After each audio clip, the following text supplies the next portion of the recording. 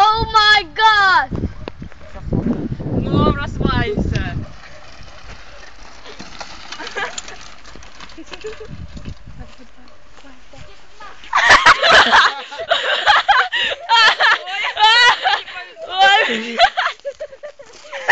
Ty żyły tam?